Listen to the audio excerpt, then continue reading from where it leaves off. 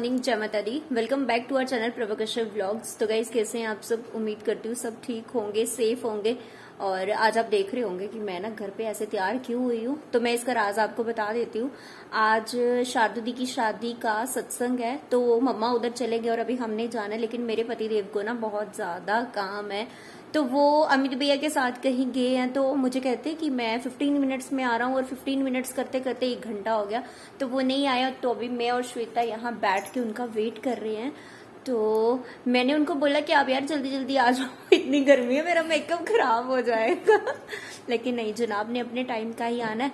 तो तब तक हम रील्स बना लेते हैं और अच्छे अच्छे फ़ोटोज़ कर लेते हैं।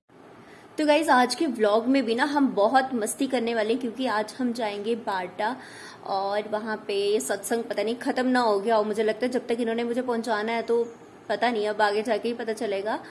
तो अगर आपको ये वीडियो अच्छा लगे तो लाइक शेयर ज़रूर करना और मेरे चैनल पर अगर आप फ़र्स्ट टाइम आए हो तो मेरे चैनल को भी कर देना सब्सक्राइब और साथ में ना बेल आइकन पे भी क्लिक कर देना क्योंकि अभी शादी के नए नए व्लॉग्स आएँगे डेली तो आप भी एंजॉय करना और हम भी एंजॉय करेंगे। तो गाइज़ करते हैं फिर आज के ब्लॉग की शुरुआत। और ऊपर से ना आज मुझे समझ नहीं आ रहा है मैं हील कौन सी पहनूँगी, क्योंकि मैं ना जिस दिन जम्मू गई थी तो उस दिन ना मेरे पाँव में ये छाला हो गया और इतना बड़ा हो गया ना ये ठीक हो रहा है, शादी तक पता नहीं क्या हाल होगा इस छाले की वजह से मैं बहुत ज़्यादा कंफ्यूज हूँ, मुझे समझ ही नहीं आ रहा है कि मैं कौन सी हील पहनूं। मुझे लगता है कि आज में से हील नहीं पहनी जाएगी, मुझे कोई सिंपल ही पहननी पड़ेगी। तो अभी देखते हैं, जूते भी नहीं पहन पाऊँगी, नहीं तो जूती सूट के साथ अच्छी लगती है, लेकिन नहीं पहन पाऊँगी। तो नंगे पाँव ही ना जाना पड़े मुझे। लेकिन मैं तो ऐसे तैयार होके बैठी हूँ ना सच धज के। लेकिन मेरे पति को अभी नहीं आना है। मैंने उनको अभी फिर से कॉल किया था तो वो कहते कि अभी मुझे टाइम लगेगा। तो तू तब तक रेडी हो जा। तो आज मुझे बहुत टाइम दिया उन्होंने रेडी होने के लिए। और आज मैं सच में जल्दी रेडी हो गई हूँ। लेकिन उनको पता नहीं कब आना है। तो आज मैंने ना नेल पेंट भी नहीं लगाई, जो मैंने पहले की लाइट कलर की लगाई हुई थी, वही रहने दी। वैसे नेल्स मेरे अच्छे लग रहे हैं। मैं खुद की तारीफ़ कर रही हूँ। तूने नहीं करनी है, तू नहीं कर। पर मैं खुद की कर लेती हूँ। तो अभी ये आ गए बड़ी मुश्किल से, और दो बजने वाले हैं, मुझे लगता है बज गए होंगे। तो अभी भी ये तैयार नहीं हुए अभी भी नहा के ना आगे पीछे फिर रहे हैं। और बहुत ज़्यादा बिज़ी है बेचारे। जाने है मन जाने का।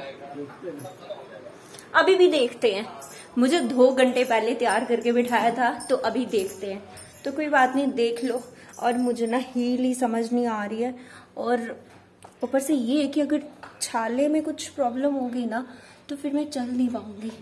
उनके घर में ना पाँच मिनट तो पैदल भी लगेंगे तो मैं कैसे जाओगी वैसे आज ना मैंने अपनी वेडिंग वाली हील पहन ली है तो मैं आपको दिखाती हूँ। ये ली थी मैंने अपनी वेडिंग वाली हील एक बार मैंने पहनी थी अपनी ही शादी में और आज पहन रही हूँ सेकेंड टाइम तो आज यही पहन के जाते हैं। अभी पता नहीं चले जाएगा कि नहीं चले जाएगा, क्योंकि मेरे ना राइट पाओ में प्रॉब्लम हुई है तो देखते हैं अभी। अभी हम निकल रहे हैं घर से ये चले गए हैं और मैं जा रही हूँ अभी। तो श्वेता ध्यान रखना साहिल भैया का और पता है तुझे किसका रखना है? हाँ घर का और एक और मेंबर है। जो जो हाँ श्वेता का जो जो तो उसका भी ध्यान रखना। तो हम निकलते हैं बाय बाय धूप हो गई बहुत ज़्यादा। और पसीना आएगा इतना ज़्यादा ना ये मेकअप जो किया ना ये पूरा निकल जाएगा।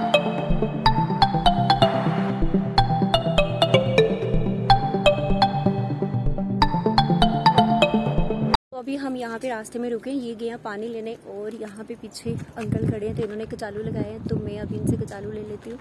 अभी हमारे अंकल बना रहे हैं हमारे लिए कचालू। बना दो।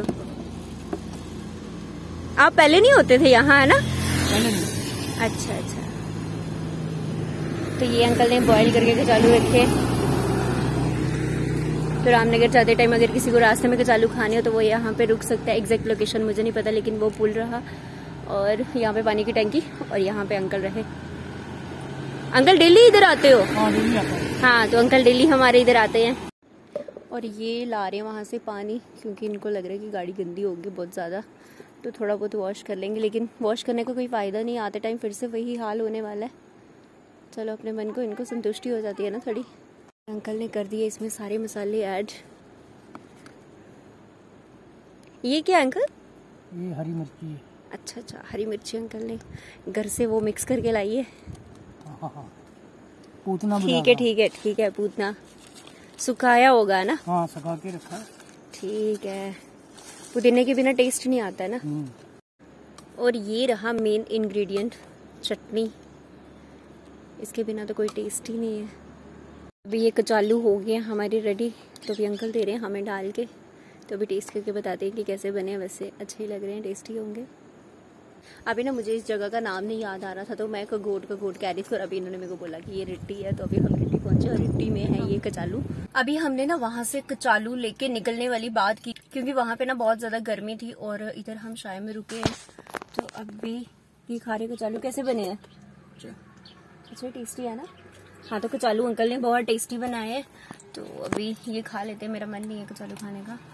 तो अभी ना बहुत बुरा हाल हो रहा है। और अभी हमें जाना है मासी के घर। वहाँ पे सत्संग स्टार्ट हो गया। मम्मा का फ़ोन आया था कि सत्संग स्टार्ट हो गया। तो अभी हम भी जल्दी से उधर पहुँच जाते हैं।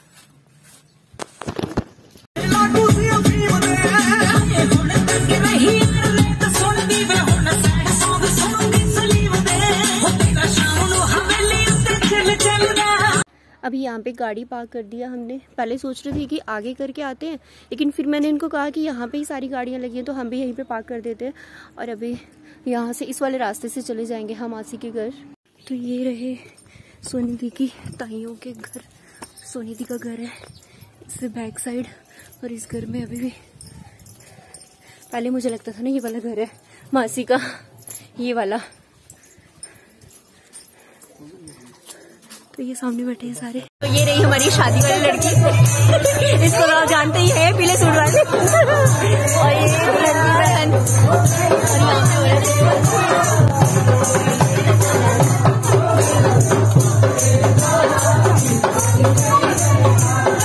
ये सब जा रहे हैं नाचने और मासी भी जा रहे हैं हमारे।